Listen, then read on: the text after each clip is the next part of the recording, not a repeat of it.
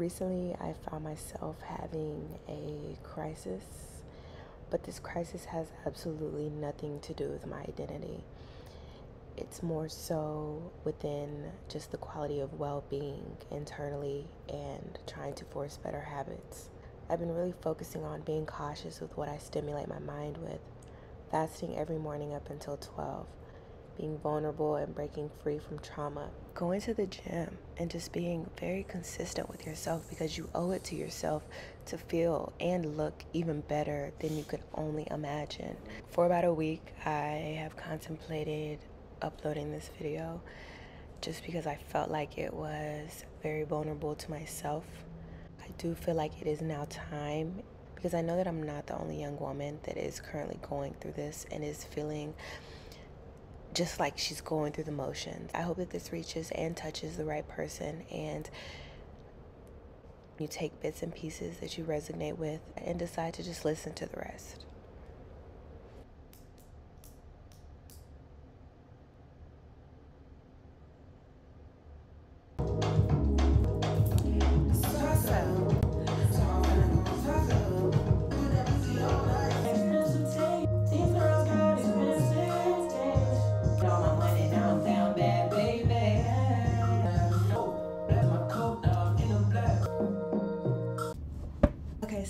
Did it. Wow, so awesome.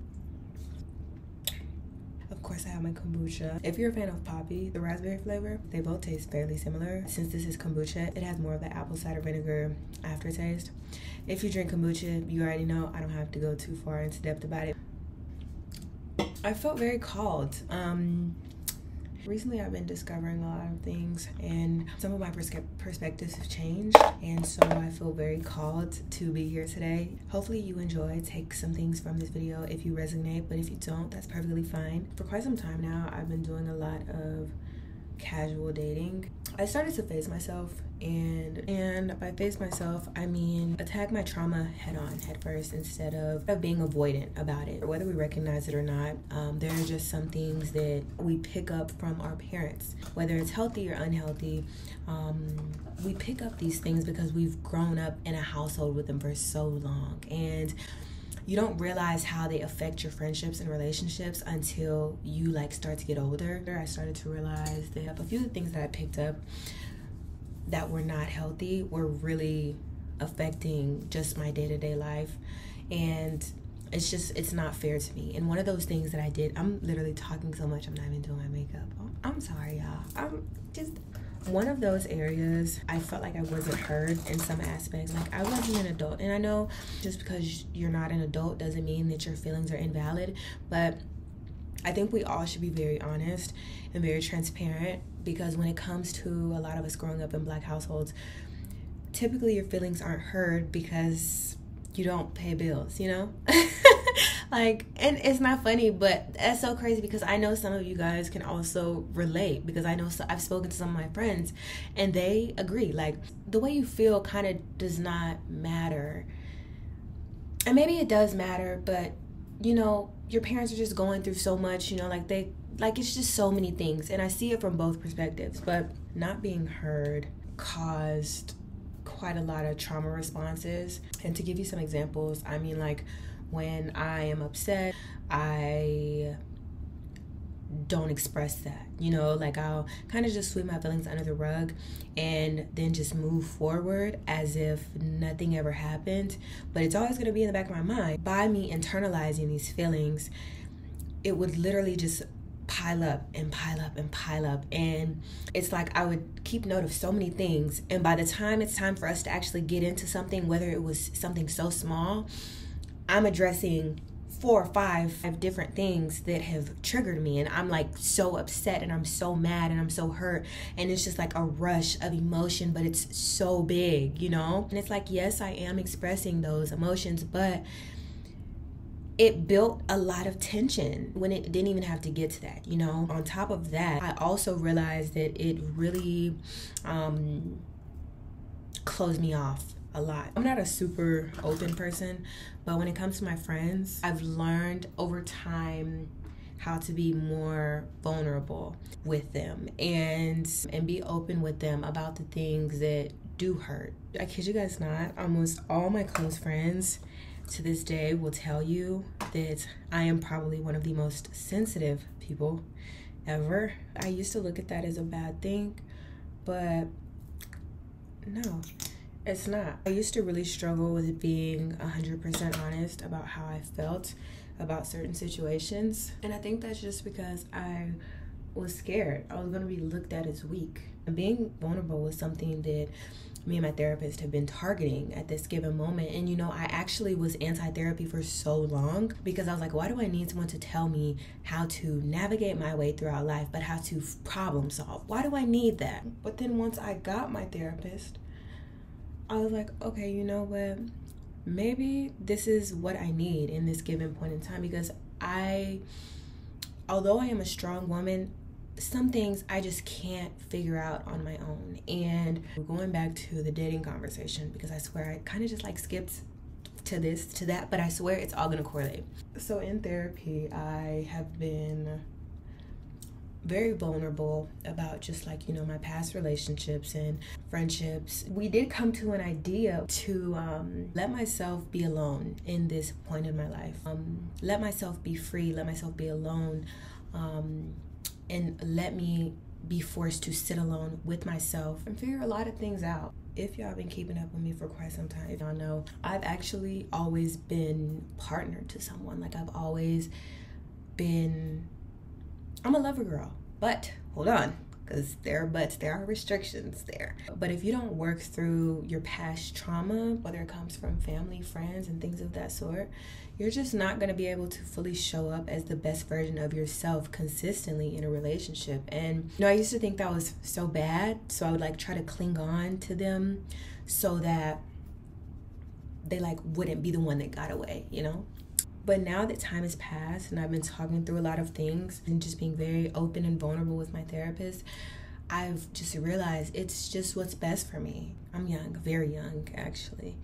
And um I think that I still have a lot of growing to do. I have a pretty solid and significant idea where I want to go career wise. There are also some things that you should want to improve personally. I'm not emotionally available at the moment. Um, and I've actually been enjoying this time that I've been by myself, and not only that, but therapy too. I've really enjoyed therapy because it's helped me learn a lot in such so little time. I'm still learning, and this is a, a progression thing. You know, it doesn't just happen overnight, um, and I get that. I give myself a lot of grace because just being able to tell someone then you're a great person but i am just not emotionally available to be committed to anything right now that's hard. It's so hard. So being able to do that, I think that's just what really makes me very excited for what is for me in the future. I've been committed to a relationship or a talking stage or something almost every summer since I graduated high school, which is like 3 years. And that's crazy. And I was talking with my therapist and we're just like those are like your golden years of college where you should be going out. You should be wearing what you want to wear. You shouldn't be tied down to someone. You shouldn't have to answer to this person or that person. Like you should be figuring out your like, you know what? You might be kind of right. You might be onto something. So been enjoying myself because I don't know if y'all be seeing, but I've been outside. Um, I just living life. Like I don't have any restrictions. You know, it's like I'm just having fun. I didn't really have that much freedom um, because I always had to consider the other person. Like, if I wanted to wear this, I had to consider, okay, well, dang, maybe this person might not like me going out like that and I'm not with them. Or, like, maybe I shouldn't be dancing on my homegirls while I'm at the club because it could be perceived a certain way. Because, you know, I like girls. Like, it's, you know, so glad for my therapist, um, most importantly. But I'm just so glad to have this realization early on in my life because the last thing I want to do is get to 25, 26 and never experience that, I guess, college experience or just the young life experience in general. Like being able to up and travel when you want to go. My therapist has helped me find a bit more self awareness, not being able to fully say I'm not emotionally available to show up and be the best version of myself in this relationship, but I can be your friend. It's hard, but it takes such a relief off of my shoulders as I'm going through this journey because I know that I'm not leading someone on and selling hopes and dreams, knowing that I could possibly break their heart. I've had my heart broken, I've also broken hearts. So I can see it from both ends of the stick, and I just would always want someone to be transparent with me. You'll get so much further by just being honest. And even though me and my therapist have not talked about this, I have also been considering going celibate for a little bit. I'm at this weird point in my life where I'm starting to realize that when I remove sex from the equation, sometimes, not all the time, but sometimes the person does not have substance. And of course substance is, is different for everybody. Like what kind of substance you want out of someone like the kind of things that you want to be able to just openly discuss with your partner is different for everybody. Just because i think someone lacks substance doesn't mean that the next person might not think that they lack substance you know? In the past i have gotten involved with people that are very service level. They don't really have much of a range when it comes to conversing. I love range because i know i have range. So when i'm seeking out someone or someone is seeking me that's something that I need. And I'm just starting to realize that once I remove me getting my pleasure from them away, once I take it off the table, it's nothing really keeping me there. Doesn't my hair look so good?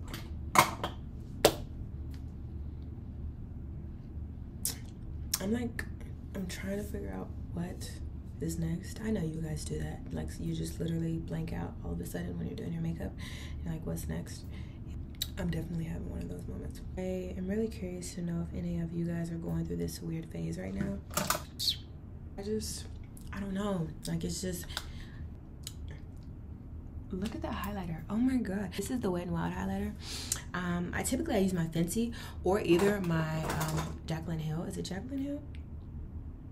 Jack I, I don't know if it's Jacqueline Hill, but I know it's Jacqueline Cosmetics, so it might be Jacqueline Hill. But this one is more of a rosy. If I want to go for like a deep blush, this is definitely what I'll go for. This one's more of a bronzy shade. You guys know my Fenty is more of a holographic silver. Yeah, it's very, oh wait, hold on. That don't look blended on here. Am I tripping? You know, I just really would recommend therapy to anyone that feels like they need it. someone who has had two therapists, the first therapist I had was a woman therapist. And you want to know what's crazy? I actually met her on BetterHelp because I had seen so many people promoting it and I thought it was going to be good. I didn't really like her as a therapist. She was a very sweet woman, very kind. Uh, she was such a sweetheart. And she's from the Midwest too. Um, but she just kind of told me everything that I wanted to hear because I know there were some situations where I can go back and be like, yeah, I was at fault and I shouldn't have did this. Instead of her calling me out and telling me the way you acted could have been a trauma response, she would tell me, yeah, well, everyone does that though. Like everyone does that at least once in their lifetime. So don't beat yourself up. You know, I want you to be able to call me out when something is wrong or if I do something that's wrong, if I should have handled something differently, whether it happens in public and you check me about it in private because you know, if we're friends, you know, if you do something weird in public, I'm gonna call you out about in private. But either way, I'm still gonna address the situation, and that's what I expect. I expect the same thing, vice versa. All my friends hold me accountable, so I don't want a therapist that's going to tell me everything that I want to hear because then I'm never gonna grow as a person. I had to get rid of her, y'all. She was so sweet though, and I didn't want to get rid of her, but I had to because I was like, girl, I'm not paying you to just tell me what I want to hear. You know what I'm saying? That's not what I'm paying you for. And therapy ain't cheap. By going on Google and just basically searching up therapists near me.